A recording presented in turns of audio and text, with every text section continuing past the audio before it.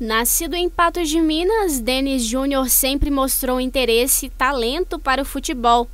Iniciou sua carreira nas categorias de base do Mirassol Futebol Clube, onde se destacou por sua agilidade, reflexos apurados e segurança debaixo das traves. Sua dedicação e empenho o levaram a ser notado por grandes clubes. Sempre gostei de praticar esportes, né? No geral. É, futebol, basquete, todos, né? Na realidade. Aí é, sempre fui mais, mais pro lado do futebol, né? E, e aí em Patos mesmos eu, eu já, já jogava na escolinha do Vila, né?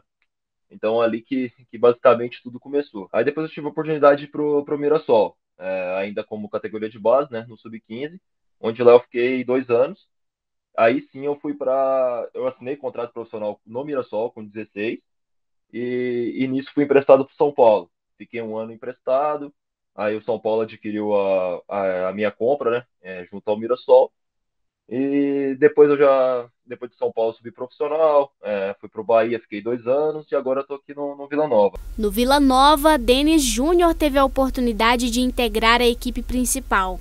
Desde então, o goleiro tem sido peça fundamental do time, demonstrando um bom desempenho e conquistando a confiança dos companheiros e da torcida.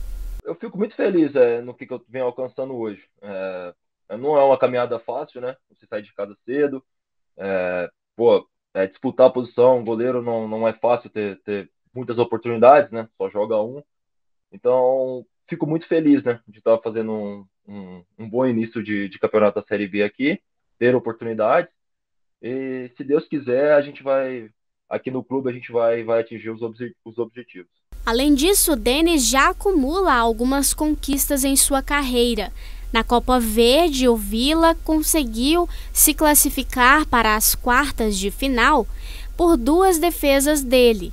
Agora, tem tido boa sequência de jogos no Brasileiro Série B. Na quarta rodada, foi inclusive eleito o melhor goleiro da rodada.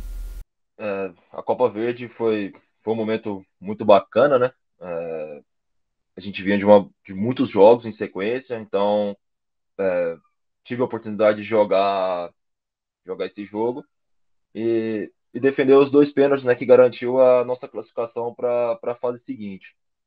Em relação à, Série B, é, é, um bom início, né? Fiz quatro partidas e, e em três delas é, nosso time não sofreu gols.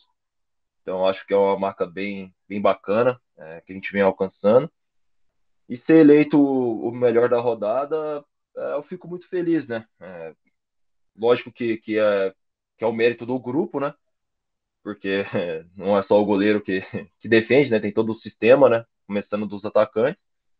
Então, fico muito feliz por, por esse início de, de Série B. E aos conterrâneos que, porventura, também sonham em se tornarem jogadores profissionais, a dica é persistência. Eu nunca desistir, né? É, não é fácil, sem dúvidas, é muito complicado você, você atingir um alto nível.